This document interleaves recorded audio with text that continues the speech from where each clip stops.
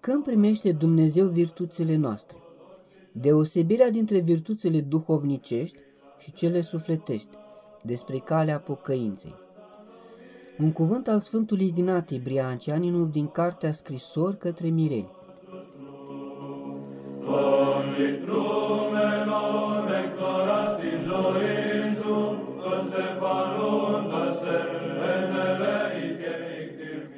Pe noi toți, oamenii, ne privește Dumnezeu cel întru totul de săvârșit. În fața nesfârșitului său bine, piere binele omenesc, care e atât de nedesăvârșit că, după foarte îndreptățit a spus a unui sfânt părinte, el poate fi numit mai degrabă schimonosirea legii lui Dumnezeu. Până și Avram cel atât de îmbunătățit are laudă pentru virtuțile sale înaintea oamenilor, dar nu și înaintea lui Dumnezeu. Înaintea lui Dumnezeu i s-a socotit într-o virtute credința în cel ce acoperă neajunsurile omenești, Dumnezeu. Dumnezeu primește virtuțile noastre numai atunci când ele sunt martore ale credinței. În sine, ele sunt nevrenice de Dumnezeu. Toată dreptatea noastră, a zis Sfântul Proroc Isaia, este ca o cârpă lepădată. Din această pricină, Dumnezeu, privind inimile noastre, binevoiește doar către inimile smerite, pline de recunoașterea propriei păcătoșenii, care mărturisesc nimicnicia binelui lor firesc, pătămarea lui de către cădere, care aduc prin os dorința lor de binele cel duhovnicesc. Omul poate să văși cu propriile puteri virtuțile sufletești, însă virtuțile duhovnicești sunt în el dar, dar al milostivului Dumnezeu, care dă acest dar celor sărași cu Duhul, care flămânzesc și însetează de dreptatea lui Hristos. Απέκουση ανατολέα βουδισμό,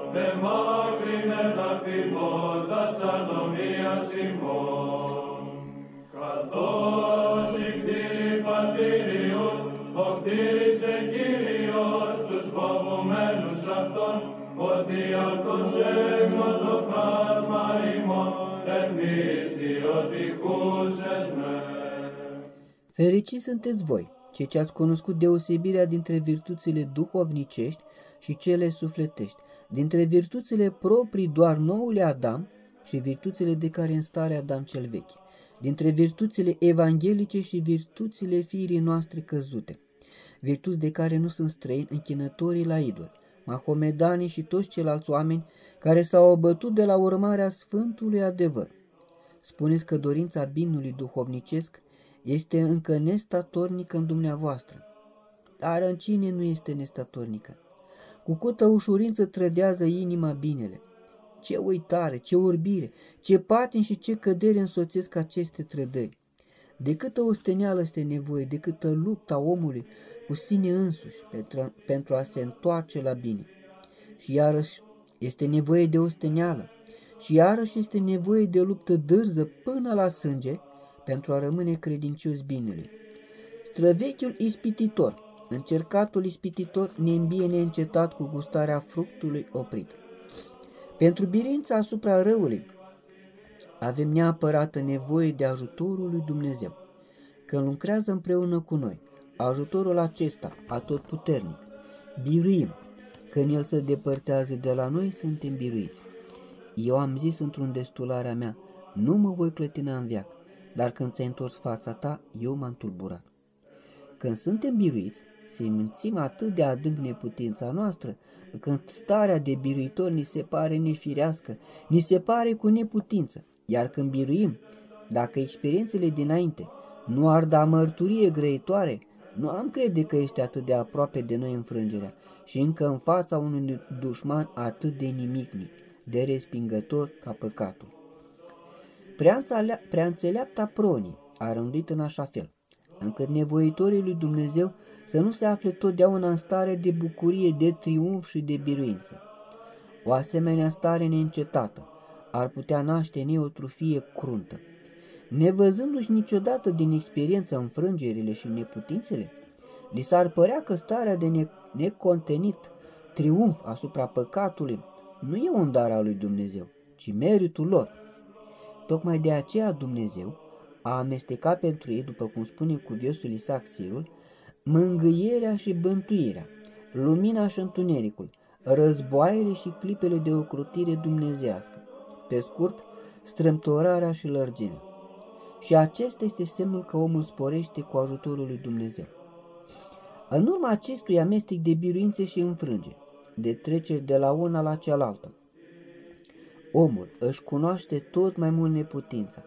Treptat, înaintea lui Dumnezeu crește și în cele din urmă devine pentru el totul obiectul întregii lui iubiri, nădejdi și credințe.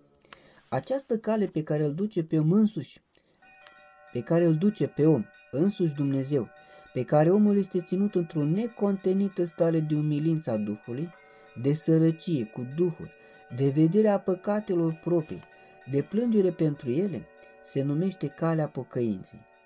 Pe ea au mers toți sfinții, de la păcat la Dumnezeu. Această cale e luminată de învățătura Sfântului Duh, ce strălucește din Sfânta Scriptură și din scrierile Sfinților Părinți.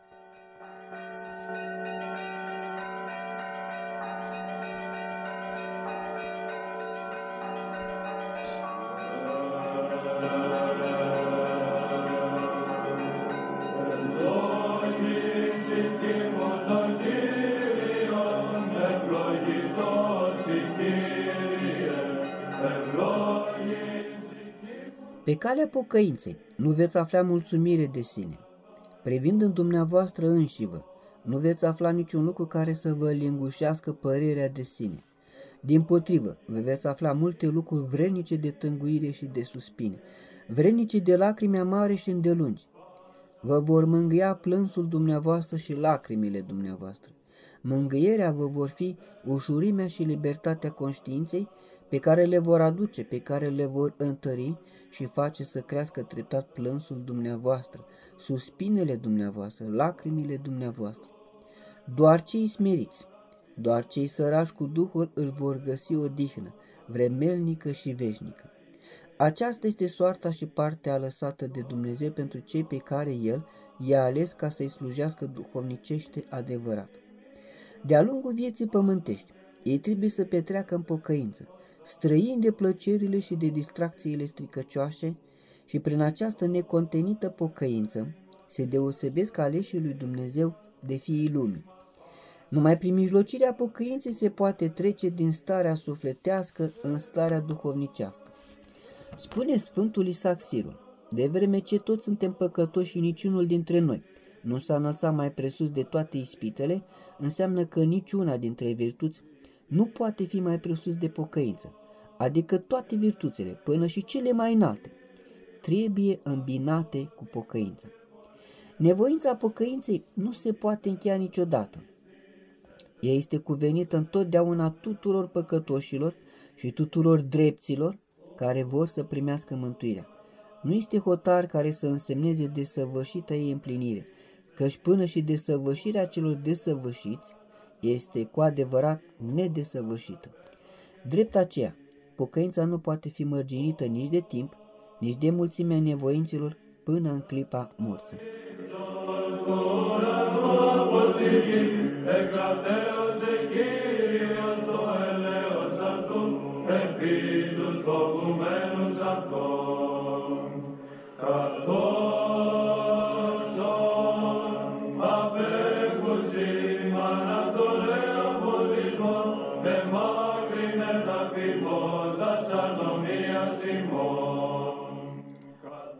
În alt cuvânt, acest mare îndrumător spune Pocăința este ușa milostivirii dumnezești pentru cei ce se îndălenicesc o sârnic cu ea. Pe această ușă intrăm în mila lui Dumnezeu și nu putem intra în ea altfel decât prin, pe această ușă. Deșarte, sterpe, adeseori vătămare, vătămătoare de suflet, sunt nevoințele, oricât ar fi ele de înalte, dacă nu sunt amestecate cu simțământul pocăinței. Poncăința e străină de amăgirea de sine. Aceasta nu se poate apropia de ea. În faptul că Dumnezeu va descoperi calea pocăinței, se vede o milă aparte, o deosebită purtare de grijă a Lui față de dumneavoastră. Pocăința este ușa milostivirii dumnezeiești pentru cei ce se îndeletnicesc o sârnic cu ea. Pe această ușă intrăm în mila lui Dumnezeu și nu putem intra în ea altfel decât pe această ușă. Deșarte, sterpe, adeseori vătămătoare de suflet, să nevoințele oricât ar fi ele de înalte, dacă nu sunt amestecate cu simțământul pocăinței. Pocăința e străină de amăgirea de sine. Aceasta nu se poate apropia de ea. În faptul că Dumnezeu va descoperi calea pocăinței, se vede o milă aparte, o deosebită purtare de grijă a lui Dumnezeu față de dumneavoastră. Despărțiți-vă de pământ cu mintea și cu inima. Începeți pe calea care s-a deschis înaintea dumneavoastră să mergeți spre Dumnezeu. La porunca Lui, toate împrejurările, chiar și cele ce par potrivnice, vă vor ajuta.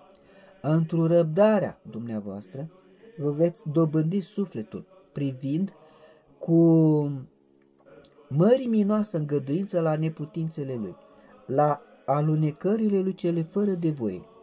A pretinde de la tine însuți să fii neschimbat și fără de păcat întru totul este o cerință cu neputință de împlinit în acest veac trecător.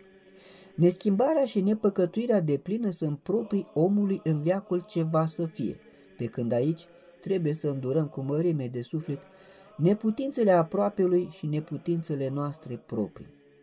Fugiți pe cât vă stă în putere de toate păcatele, iar neputințele de care nu puteți scăpa, în care cad fără voie gândul și inima, răbdați-le bărbătește. Dobândiți uh, din vederea propriilor neputințe, adâncul și statornicul simțământ al sărăciei cu Duhul, care este atât de plăcut lui Dumnezeu, nu descurajare și puținătate de suflet și săvârșiți-vă calea vieții pământești, umblând înaintea Domnului într-o umilința Duhului. Aie,